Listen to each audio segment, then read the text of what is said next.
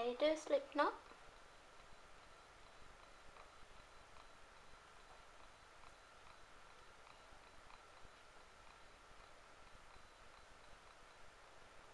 Chain six.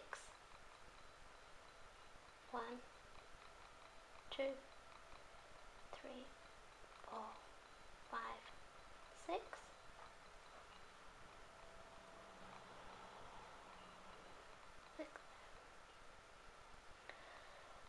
Second chain from the hook, not the first one, but the second one.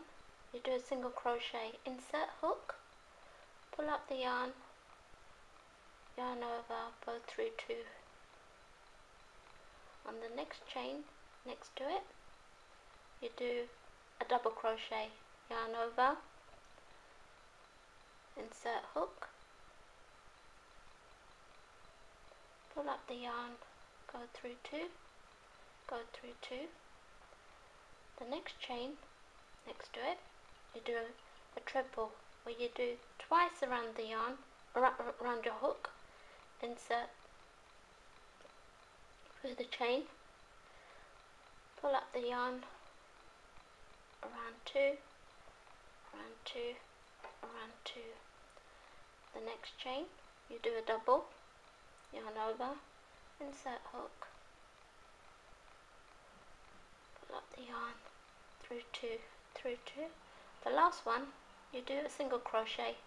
You just insert the hook, pull up the yarn, yarn over through both. When you've got your tail, you just do a slip stitch into that tail.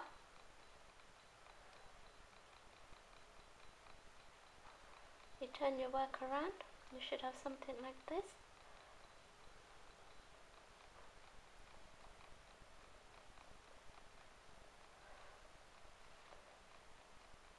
Now working where the tail part is, we're going to be doing the opposite of what we've just done.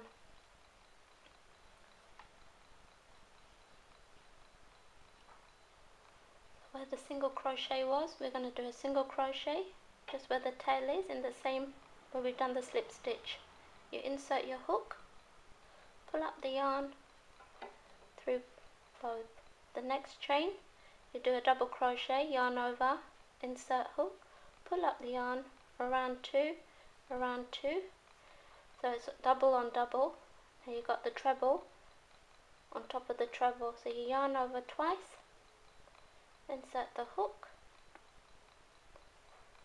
pull up the yarn around twice, around twice, around twice. And where you've got the double, you're going to do a double yarn over, insert the pull up two, pull up two. The last one, just do a single crochet, single crochet on top of the single crochet, insert hook,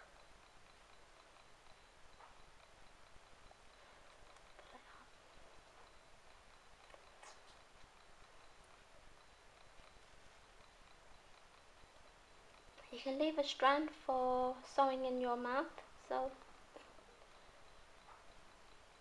cut that part off.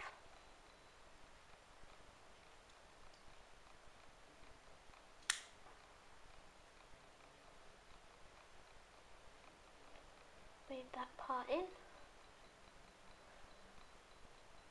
The strand. You should have something, it's like a circle that gives you the dome for the mouth. And this is the part where you'll be stitching onto the beak, onto your chick for the beak to open and close.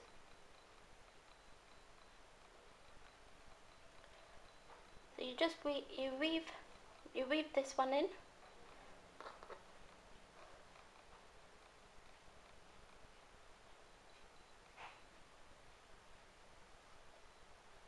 Just weaving in into the back part of the work that we've just done.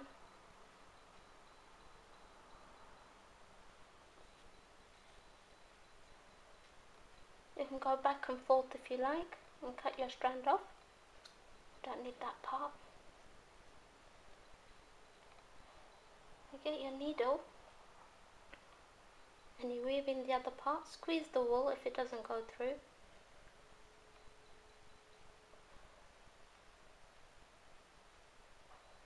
And you can bring it in slightly at the back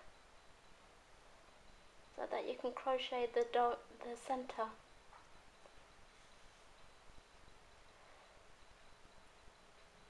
now you've got it in the back part. And you've got the good part where you want your beak to be opening and closing. And this part will be stitched onto the onto your chick. You'll work in the center.